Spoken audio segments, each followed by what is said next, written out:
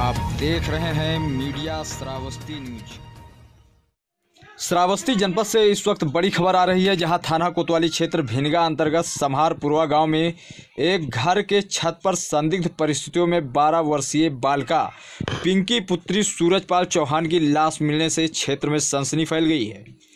इसकी सूचना मकान मालिक ने पुलिस को दी। वहीं सूचना पाकर मौके पर पहुँचे पुलिस अधीक्षक अरविंद कुमार मौर्य क्षेत्राधिकारी अतुल चौबे व अपर पुलिस अधीक्षक केशव चंद्र गोस्वामी ने शव को कब्जे में लेकर पोस्टमार्टम के लिए भेज दिया है और जाँच पड़ताल शुरू कर दी है।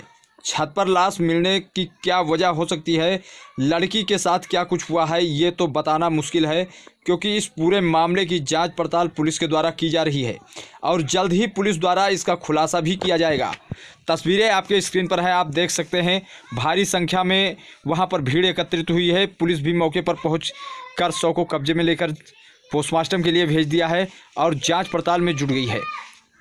थाना भिंगा क्षेत्र में एक परिवार जो एक पर सात सालों से काम करता है और वहीं पास में एक मकान में रहता था।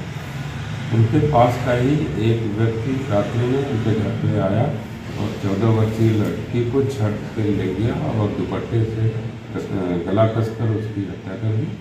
सुसंगत धाराओं में अभियोग पंजीकृत करते हुए शव को पीएम के लिए भेज दिया गया है।